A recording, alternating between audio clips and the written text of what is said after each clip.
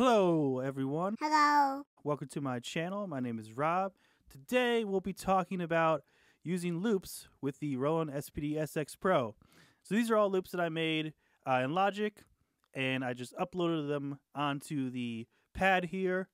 So just four tips on what you can do with the loops that you got. So tip number one, changing the speed of the loop, right? So pretty obvious one, but you never know. So uh, in this case, I have this loop right here. And I'm going to turn it into this. Right? So basically, I just changed the uh, coarse of it or the pitch of it. Um, for the slow one, I just took it down five semitones. And then for the fast one, I took it up seven semitones. So they are an octave apart and they're in the same key. And the fast one is twice as fast. And here's a video of me showcasing that.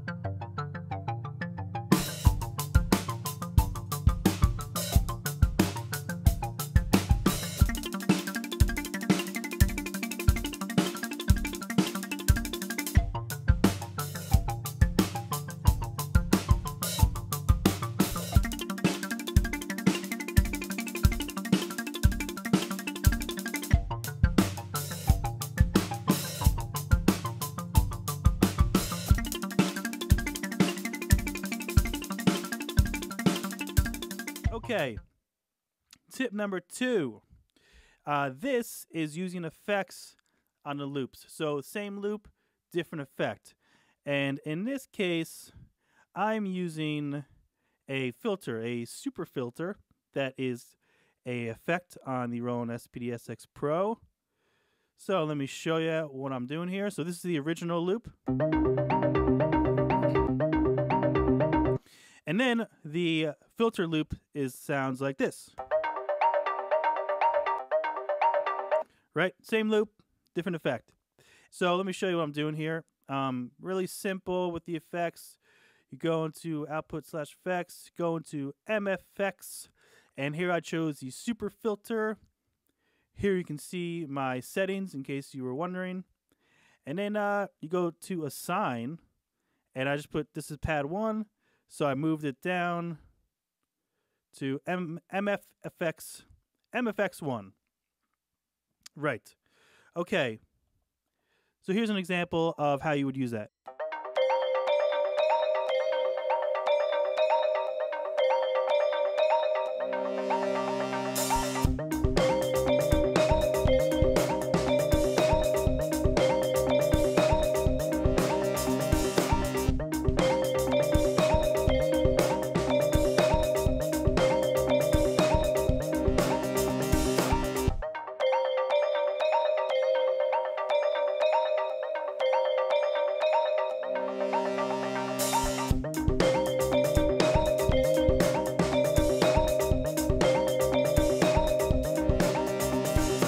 Right, so that's really cool. It helps you kind of, you know, take the same loop, but um, you know, be able to transition into the next part of the song.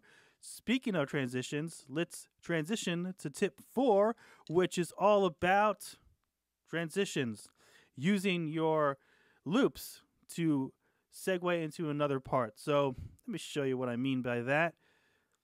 I'm gonna go here. I'm gonna go back to my other loop I was using before. We're gonna use this one. And then we're going to go into this one. But we're going to segue between those with a transitional loop. Something like this. Or something like this. Right? so let me show you what I mean. So I'll start with this loop.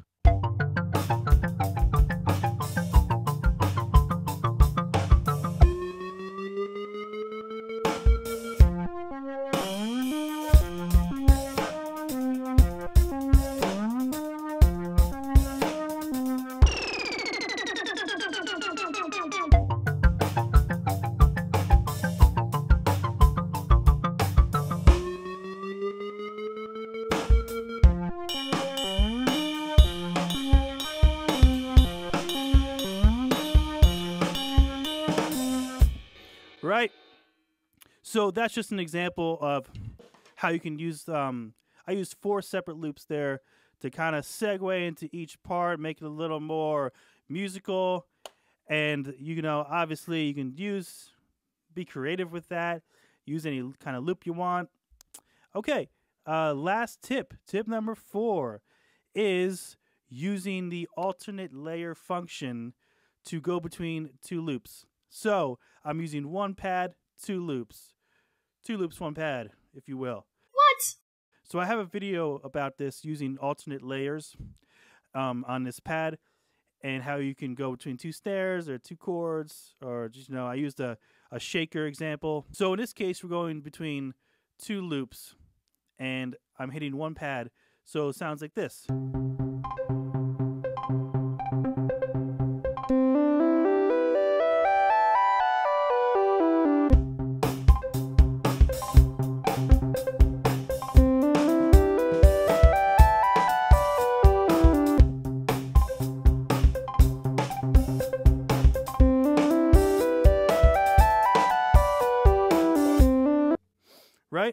So I think this is good. It's a smart way to kind of utilize your space on this pad. And, you know, if you're using one pad for two loops, then you got the whole other space to do whatever you want. And it's pretty convenient. But real quick, I just want to show you how I do that. Pad edit, um, layer A, layer B. I go up to the top here and I make my layer type alternate right? And then also another thing you want to do, make sure they're both layer A and layer B, the loop is on, and in your trigger type, got to make sure that that is alternate um, on both of them. All right, guys, so those are my four tips for using loops on the Roland SPD SX Pro. If you have any questions, please comment below. And uh, if you want to support this channel, you can buy me a coffee in the link below. Don't forget to like and Subscribe now. What do you think I'm doing? If you want to check out some other videos of me using the Roland SPD SX Pro, I got the Roland Gaia, I got the Roland SPD 30 Octopad, but I don't have a Roland endorsement. It's okay. But I have a lot of videos of me using their products, and um, it's pretty fun. So check that out and have a good day.